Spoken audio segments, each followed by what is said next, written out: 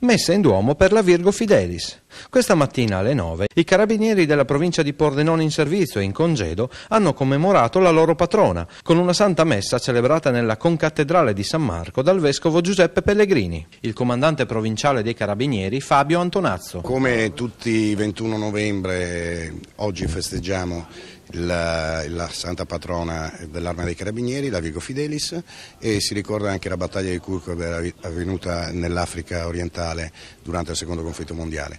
È un'occasione per ritrovarci tutti insieme, per sottolineare ancora una volta, oltre al nostro servizio, anche quella sensazione, quel sentimento di solidarietà che ci deve accomunare. Alla Santa Messa era presente, oltre alle diverse autorità, anche il vice sindaco del comune di Pordenone, Renzo Mazzer. La presenza dell'amministrazione comunale e delle istituzioni a questa funzione religiosa per l'arma dei carabinieri è una, una, presenza dovuta soprattutto per il sentimento di riconoscenza che noi abbiamo verso gli uomini e le donne di quest'arma che all'oscuro qualche volta stanno lavorando per eh, la sicurezza della nostra comunità, delle nostre comunità, del nostro territorio e quindi crediamo che questo lavoro oscuro vada ogni tanto sostenuto anche dalle istituzioni, soprattutto per il bene delle nostre comunità.